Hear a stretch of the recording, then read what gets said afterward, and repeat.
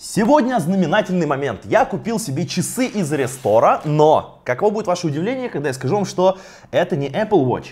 Но если не Apple Watch и Restore, тогда какие?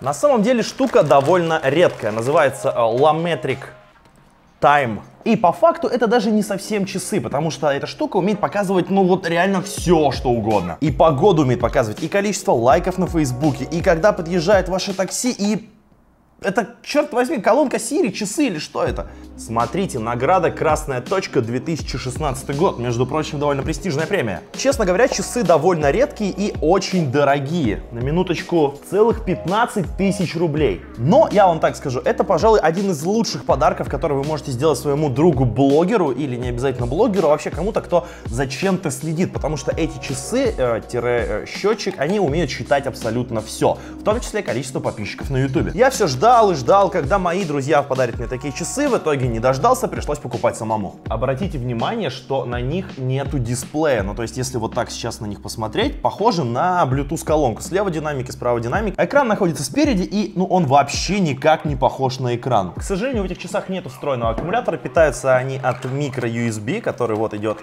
в комплекте он при этом довольно длинный. Даже не знаю, ну примерно где-то метра полтора. И что интересно, блок питания идет с американской вилкой, но при этом есть переходник под китайскую и под стандартную европейскую. Сначала снимаем одну вилку и вот так на щелчок надеваем другую. И все это дело в сеть.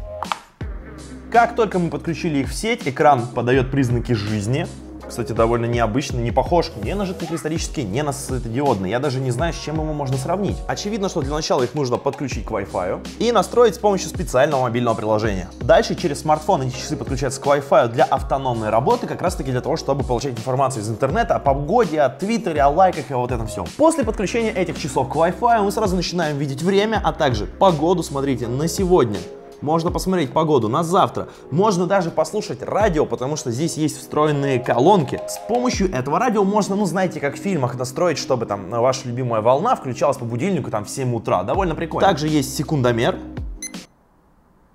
не знаю, зачем он нужен в этих часах, но он тут есть. А также таймер на 15 минут изначально, опять же, не понимаю, зачем он здесь нужен. Это все стандартные предустановленные приложения, но, как я уже говорил, эта штука умеет считать все. И дальше в дело у нас идет смартфон. Нажимаем на настройку наших часов, и у нас изначально, вот видим, все те приложения, которые я только что переключал. Нажимаем на смартфоне, сразу же все это дело переключается на часах, но Самое интересное находится в магазине приложений. Тут есть, посмотрите, даже бегущая строка информирования о Формуле 1, то есть о том, как проходили заезды. Даже такое тут есть. Но меня в первую очередь интересует YouTube. Именно с этой целью и покупал эти часы, чтобы было видно количество подписчиков. И, как вы можете заметить, на самым первым идет даже над Фейсбуком, даже над Твиттером, даже над Инстаграмом. Осталось только добавить свой аккаунт на YouTube, чтобы в реальном времени можно было отслеживать количество подписчиков. Прикиньте, насколько это круто. В приложении находим мой канал, выбираем выбираем его, и по идее здесь сейчас должно показываться, да, мое количество подписчиков, а именно 1 миллион... Э, нет, вернись, вернись. 1 миллион 753 тысячи 666. Но вот дальше, знаете что? Во-первых, нужно время перевести в 24-часовой формат, и вот эти вот фаренгейты убрать их нафиг, потому что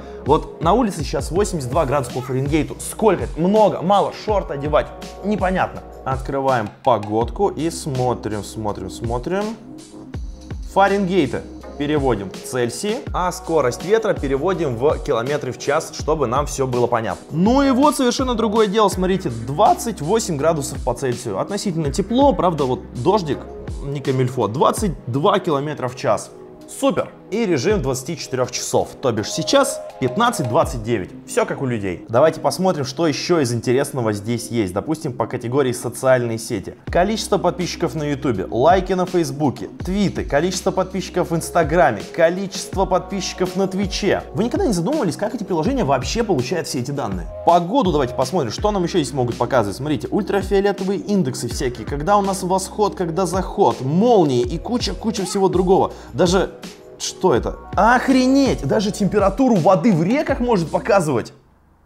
Это, черт возьми, самые умные часы, которые я когда-либо видел. Смотрим, что еще есть. В категории развлечения. Is it weekend yet? Что это означает? Просто офигенное приложение для любителей потусоваться, которое показывает не дни недели, а только конкретно сейчас. Выходной или не входной. По-другому, едем сейчас тусить или идем работать. Охрененно, надо его добавить. Даже зацените, есть приложение, которое показывает ваш текущий рейтинг в Overwatch. Что? Ну а также здесь полно просто различных мотивирующих или просто развлекающих надписей с анимацией. Типа как вот эта, которая просто показывает надпись «Почему не Зольберг?» и я так понимаю, он еще и танцует. Ну да, просто написано «Почему не Зольберг?» и вот он танцует. Почему бы и нет, такое тоже есть. Помимо всевозможных приколюх, есть еще и действительно полезные счетчики. К примеру, вот этот довольно мотивирующий. Это счетчик, который показывает, сколько дней вы уже не курите. Я думаю, что это было бы, наверное, полезно. Я просто сам не курю, не знаю, но наверняка есть люди, которые хотят бросить курить, и такие надписи, ну, наверное, все-таки будут их мотивировать бросить это дело. Тем временем, смотрите, количество подписчиков-то растет. Это тоже мотивирует. Ну, короче, прям куча, куча различных приложений сюда можно установить. В том числе и курсы валют, и курс биткоина, и рынок акций, акции и вообще все-все-все, что угодно в мире, все, что исчисляется цифрами и числами, можно вывести на эти умные часы. Насколько я знаю, там даже э, можно разрабатывать и свои приложения, то есть если вы хотите что-то свое, там открытое API, то есть если вы разработчик умеете писать приложение и разбираетесь во всем этом, то можете написать свою версию программы, загрузить ее сюда. Единственное, чем вы будете ограничены, это не самым большим дисплеем, который больше напоминает даже не экран, а скорее бегущую строку. Вот знаете, говорят, Apple Watch, Apple Watch, самые крутые, самые умные часы, но я вот буквально покопался всего 5 минут в магазине приложений для этих часов, и мне кажется, что здесь уже приложений намного больше, чем Apple Watch. Но как минимум, видели ли вы бегущего Зольберга для Apple Watch? Я вот, честно говоря, не видел. А давайте-ка протестируем качество звука.